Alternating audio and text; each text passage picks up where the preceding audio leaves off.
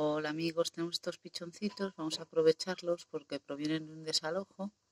denominados desalojo cuando alguien decide que realiza una obra, siempre como no en agosto, en temporada de cría, y pasándose las leyes de medio ambiente por donde el arco del triunfo porque nadie te ve, pues coge pichones de paloma, de vencejo, polluelos de cualquier especie, gatos, lo que sea, y los tira a la basura, los deja en el suelo, cualquier cosa, sea una muerte directa o indirecta diferida, y sigue su camino, sigue haciendo la obra, que normalmente, y ya está.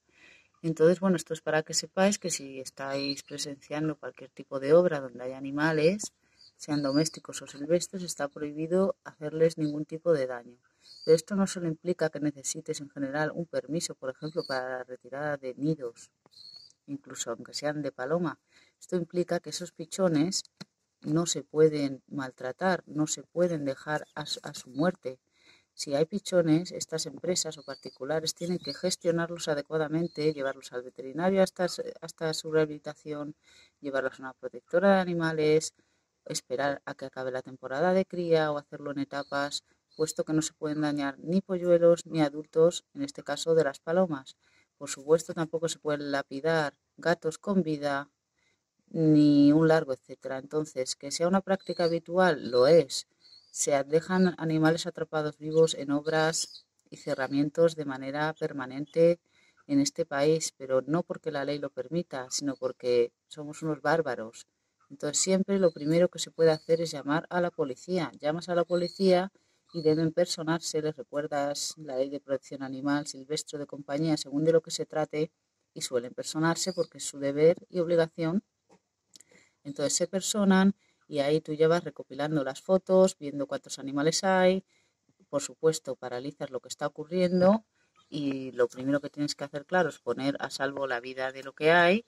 en general, si, si, todo va bien, se paraliza y se liberan a los individuos y si hay pichones se gestionan, por ejemplo, en el caso de las palomas. En caso de que la empresa continúe con su acción, pese a que venga la policía o si no hay acceso, por ejemplo, por parte de la policía a dicha propiedad privada, mínimo con las pruebas que recopilemos, fotos y vídeos, vamos a poder interponer ante el ayuntamiento y la consejería la respectiva denuncia al menos se haya vidas o no perdidas, en todo caso, las haya o no, hay que eh, hacer valer la ley y para eso los ciudadanos, lamentablemente, tenemos que hacer, como en muchas ocasiones, de policías medioambientales, estar vigilando de naturkeepers, es decir, algo va mal, algo se hace mal, pues no solo voy a rescatar a ese animal, que por supuesto es la primera acción, que no le pase nada, pero es que además voy a hacer que la ley se, haga valer y no se vuelvan a dañar animales en ese municipio, porque estamos vigilando, porque está prohibido y la sanción será impuesta, porque es una infracción. Entonces, como siempre, primero poner a salvo a los animales, que suele ser bastante estresante, tienes que parar lo que estés haciendo, es bueno, es un agobio absoluto, pero además después no olvidarse de la denuncia fundamental a la empresa, al particular,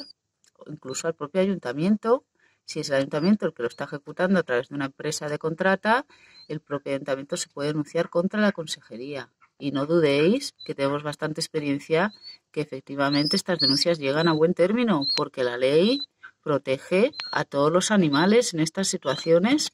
y a todos los animales en general del maltrato animal. Así que por favor, recordar podéis tomar medidas, no se puede hacer lo que uno quiera y empecemos a educar y concienciar para que este país deje de ser un país de salvajes.